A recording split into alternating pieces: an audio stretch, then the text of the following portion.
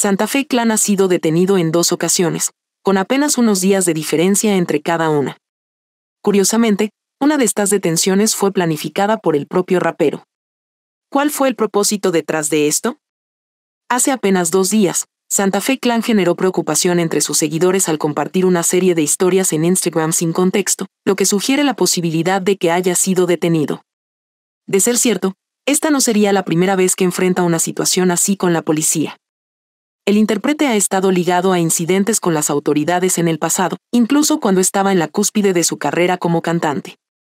Desde las primeras horas del miércoles, Santa Fe Clan publicó una historia en la que se observa principalmente el suelo, pero se alcanza a ver a un grupo de policías irrumpiendo en el lugar donde se encontraba. En el video, se escuchan frases en inglés que advierten que no están jugando. Horas más tarde, compartió una actualización con una frase que aumentó la intriga entre sus 11.5 millones de seguidores en Instagram, sugiriendo que podría enfrentar la posibilidad de ser encarcelado. Si me voy a prisión, les pido que cuiden a mi madre, expresó, sin mencionar a Lucas su hijo. Esto ha generado diversas interpretaciones entre sus seguidores, algunos creen que el cantante podría estar en peligro, mientras que otros consideran que podría tratarse de una estrategia de promoción para nuevo material. Las ocasiones en las que Santa Fe Clan ha sido detenido por la policía han sido en México.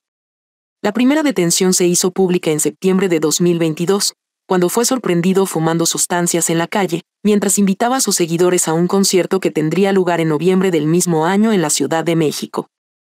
En aquella ocasión, después de una breve persecución por parte de la policía, Santa Fe Clan fue alcanzado y sometido por los elementos, aunque finalmente aclaró que se trataba de una promoción para uno de sus proyectos, intentando tranquilizar a sus seguidores.